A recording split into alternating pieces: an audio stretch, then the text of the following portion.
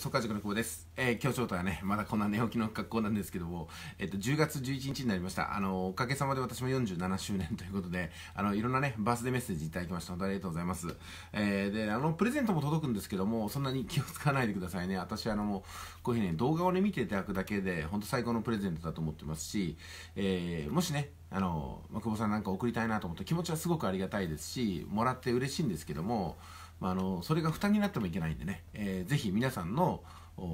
まあ、なんですか経済活動を優先してもらいたいなと思います、えー、よろしくお願いします。で、えーと、今日ですねまた新しく YouTube の方に速稼塾 YouTube の方にね、えー、涌田さんという方が参加してくださいました、えー、ローマイタリアこちらの方をね軸にお話していくということだったんですけどもまあそれはねどういう内容なのかちょっとねお楽しみにされてほしいなと思います、まあ、静岡からの発信ということになりますので、まあ、静岡ね私もご縁があるところなんでまたお会いできる日が来るんじゃないかなと思います。さあそれですねこの YouTube なんですけどもこれねなんでねみんな YouTube をやりだす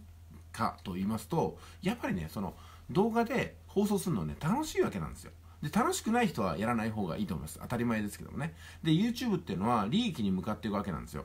収益化を向かっていく。そして、え、再生回数に応じた広告料を、え、いただいていくということなんですけどもね。でもこれはですねやっぱりそんなにすぐにはいかないんですよ。広告料収入、まあ、私もねはばかりながらですけども、えー、今ですね、えー、広告収入が10万も20万あるかって言わあのそこまでないわけなんですよね。で私のように毎日更新してもそこまでいかないということは YouTube っていうのを使い方をね広告収入を狙うんではなくてまあ、楽しむツールそして、えー、なんかね関わりをコミュニケーションをね作っていくツールとしてまずは使っていただきたいなと思います、えー、今 YouTube の中に参戦して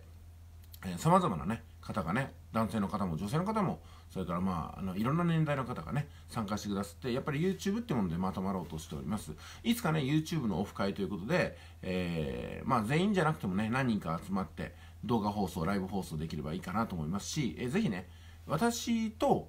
なんかね対談をして、えー、何かお話をしてねそれで放送したいとか何かの宣伝をしてほしいとかね。私の YouTube アカウントのまあ影響力っていうほどではないですけども影響力を使って何か仕掛けをしたいなってことであれば企画をどんどん持ち込んでいただきたいと思います、えー、ぜひね、えー、皆さんの YouTube チャンネルのチャンネル登録者数の方がどんどん増えていったりとかね再生数が増えていただければ私はそれもう言うことないですからね。えー、もうぜひ協力させていただきたいというところでございます。さあ今日の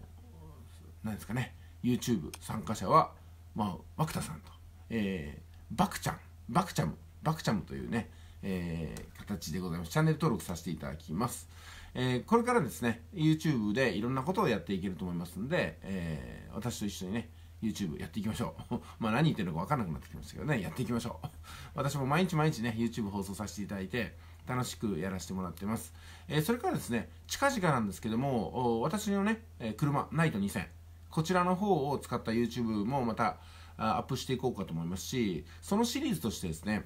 あのトランザムのナイト2000仕様に乗られてる全国の方ってやっぱりね何十人かいらっしゃるんですよ。100名はいらっしゃるかどうか分かんないですけども、まあ、何人かいらっしゃるんですよ。でそういう方と私はもう会いに行ってもしくは会いに来ていただいて一緒にまた放送していこうかなと思います。これはね多分私にしかできないようなチャンネル作りだと思うんですよ。えー、あおはようございますいこさん。おはようございます。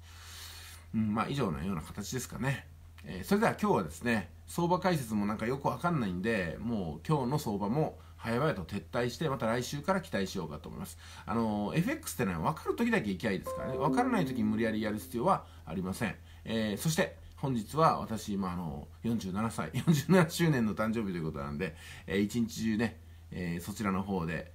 時間を割くことになると思います、まあ、こういう時に家族がいるっていうのはいいですね。家族と一緒に、